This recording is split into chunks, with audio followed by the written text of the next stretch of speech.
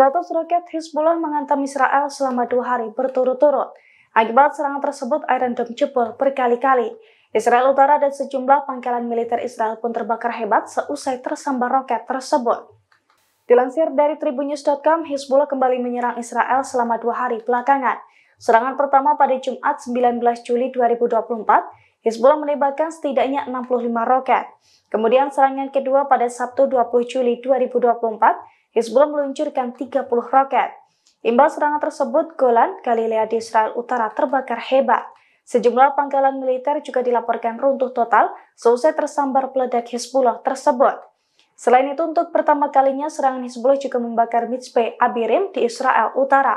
Hezbollah mengklaim serangan itu merupakan respons dari aksi Israel terhadap warga sipil di kota Safat al-Batik, Masjid al-Salam dan juga Sakra di Lebanon Selatan. Download Tribun X sekarang menghadirkan lokal menjadi Indonesia.